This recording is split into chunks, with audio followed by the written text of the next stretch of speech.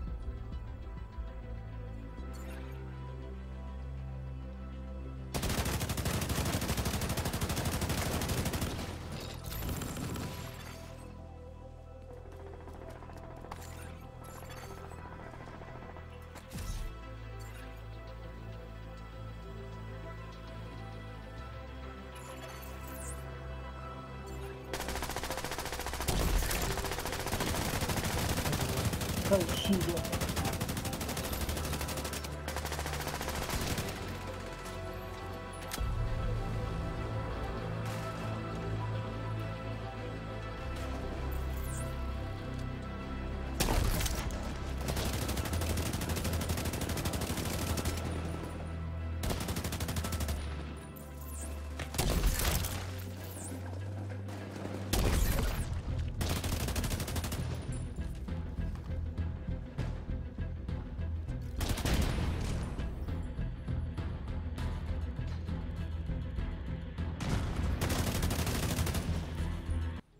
Well, good afternoon, people. I'm back with a Division 2 build video. One I haven't done for a while, to be fair. Um, but I've had so much fun with this gear set over the past few days, I just had to. Um, not many people are using it. Also, there's a lot of people that don't understand how the gear set fully works. So we'll go into it. Um, stick around after I've done the I've done the build video. There's a couple of clips you need to see. Um, and I explain I'll explain why at the end of the build bit. Um, but yeah, let's go into it. So it's ongoing directive with a ninja bike. Not overly, you know, massive on the whole scale of things, but it's good. So I've got my level 21 Eagle Bearer. Only 21 because I haven't got the exotic components to get it to 22. Um, secondary for mass, you can use whatever you want in there. To be fair, um, say this is a good is a good one. To be fair, um, all God roll stats, obviously. Um, pistol, I really must optimise that. To be fair. Anyway, you can use orbit. You can use the profit you can use TDR card however you want to do it. It's up to you, whichever you prefer to use. Um, second, the, the pistol is not massively um, needed. Specialization. The only reason I've gone for Demolitionist is because of the extra damage to target out of cover when in group. You can go for the uh, Firewall because of the medkit. The medkit's quite nice on that sense because obviously you get the, the healing over time which is good. So if you solo, probably use that. If you're actually in, a group, maybe use that. Um, but yeah, skills wise, um, decoy, so that people don't know where you are. Um, and bit toxic, but foam. And I'll go into why in a second. So let's go into the pieces. I'm going to directive mask. First piece, a two piece bonus is 15% status effect. Third piece is 30% reload speed. And the fourth piece. Rules of engagement. Shooting a status affected enemy will apply a mark. That's why I use foam. It's a tier 1 foam, so it didn't really do much of everything anyway. Um, but killing a marked enemy grants a full clip of hollow point ammo for you and your active weapon, and half a clip of the agent's active weapon to the rest of the party. Okay? So hypothetically speaking, if I've got full magazine, right, half of that magazine, so 30 rounds, is going to go over to the party members, all the party members, right? But it also doesn't say I have to get the kill. All it says is killing a marked enemy. So essentially, I could mark an enemy, kill them, and then my magazine capacity will be halved and the rest of the group will get hollow point and I will get a full clip of hollow point in my um, in my mag. This is one thing that a lot of people don't understand. You don't have to get the kill yourself, so the person wearing the ongoing directive build, they don't have to get the kill to get the hollow point. As long as the player is marked or the NPC is marked, then whoever actually kills the NPC I, I'm guessing NPC or even player. If it's an NPC, then it could be another NPC. So potentially, if you've got a, a patrol going around and you're in a, in a PvP fight, you could mark the patrol. If the uh, players attacking you kill that, then theoretically you get. I haven't tested that yet. Theoretically, you may get the actual ammo, but if your team members kill it after a mark, you get hollow point. Okay. The marks last for 10 seconds. Hollow point ammo amplifies weapon damage and by 20% and applies bleed on hit. So you can constantly keep it up. If you're constantly killing stuff, you can constantly keep up the bleed ammo. And it is fun. Essentially, um, by using the Ninja Bike, you can use um, a Wicked backpack if you wanted to, and then you get even more damage. But in this scenario, you get more talents active and you get the same amount of damage as if you didn't have Wicked on. Well, in fact, you get more damage, to be fair. Um, so stats on the actual, on the mask. Armor, headshot damage, headshot damage. Gloves. Weapon damage, headshot damage. Holster. Armor, headshot damage. My backpack is the Ninja Bike. So weapon damage, armor, and skill tier, and then mod headshot damage. Um, the main talent on the Ninja Bike slots in with any equipped gear set or brand set item to fill a requirement towards unlocking a gear set bonus. But can unlock bonuses from multiple sets simultaneously. So that's why I've got three piece ongoing directive, one piece Providence, and then Overlord.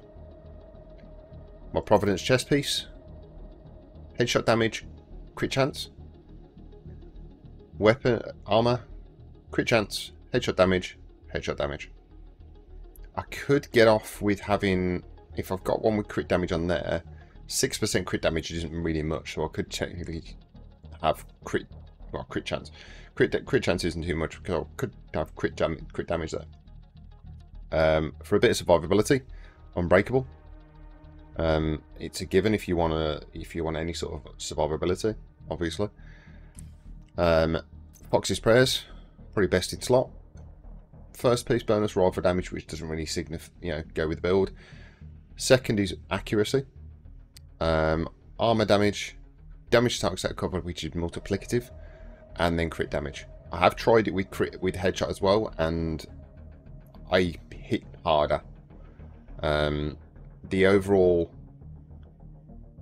you know, red numbers may be slightly less, but when I hit a crit, it's obviously yeah, much more. Which, to be fair, I do hit a lot of crits with it. Um, you could, if you wanted to, go for, say, contractors. But I find that the 20% accuracy for myself works really well, especially with the Eagle Bearer. Um, so if you do have trouble like, controlling any gun or anything like that, put that on. Um, may help you. Or, you know, just get used to the actual recoil of the guns. Um, because they're fairly easy to actually control anyway. Um, so yeah.